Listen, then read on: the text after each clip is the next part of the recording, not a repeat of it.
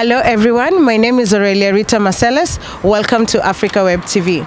Today, we are at an African restaurant in The Hague where a Green Party candidate from the upcoming European Parliament election is discussing his policies and his vision with some of the Dutch African voters.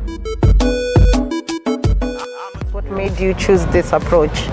You know, I have been living uh, for about seven years in Africa. Yeah, where exactly? In Congo, Yeah. in Nigeria, in Kenya. Oh, interesting. So I, Yeah. uh, yeah, um, I'm very much at ease, and I know that if you want to reach uh, uh, an audience, you shouldn't only be talking to them, but uh, talk with them. A lot of African entrepreneurs are interested in doing business with Europe, with the Netherlands in particular, but they are facing a lot of uh, difficulties getting visa because here uh, there is an image of uh, migration, it's negative. People they think all Africans are coming to Europe to stay. So what are you going to do about that? We have a very youthful continent.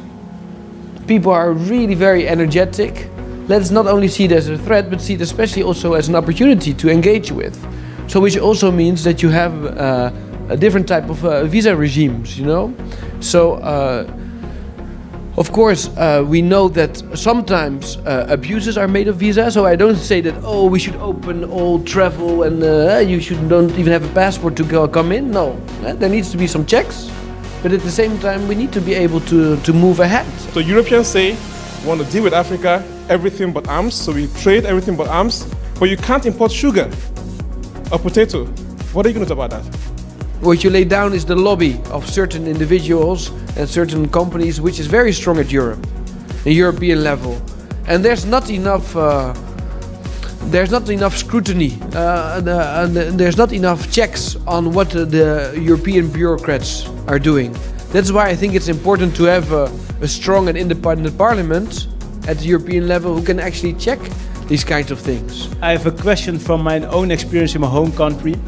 West Papua is home of world's biggest gold mine and know what it is to have such resources in your country where you can't benefit from it. And we see the same things happening in a lot of countries in Africa. How can we change the policy from Europe so the people in those countries can benefit from their own resources? But what you see is that those mining companies, they don't use enough local labor.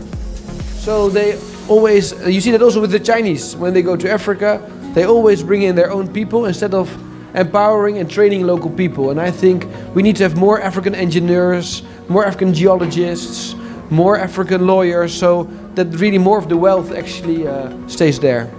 I want to ask you only one thing. Support this young guy, Dirk Jan. And don't stay at home when uh, other people are going to vote. We will elect, elect you. And uh, come back here and we will eat again. Thank you very much.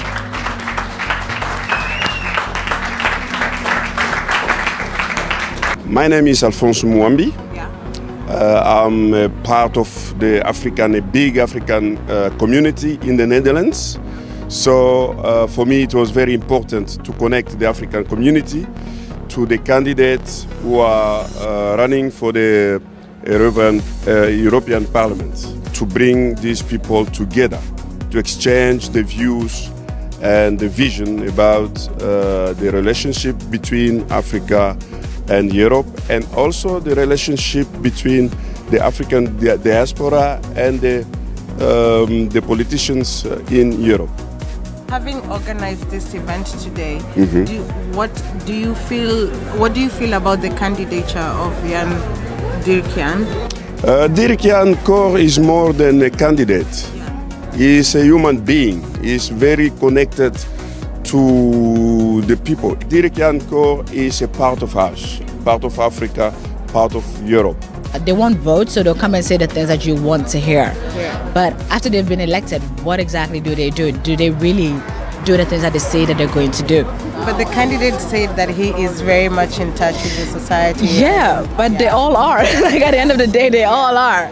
They all are in touch with the community. If they weren't, like if they weren't, they won't be here in the first place. A lot of people speculate and they say that there are a lot of people that go to Brussels and they forget about, you know, the people that elected them. So if elected, are you going to be one of those visitors to the Netherlands or, and you know a resident of Brussels or what approach would you like to have that is different from other candidates?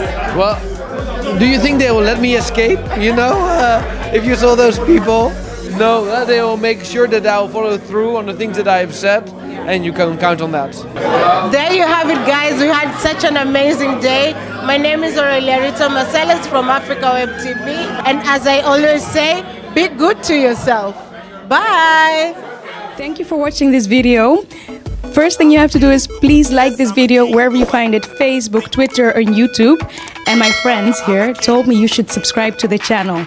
So stay tuned for more, and we're looking forward to seeing you again.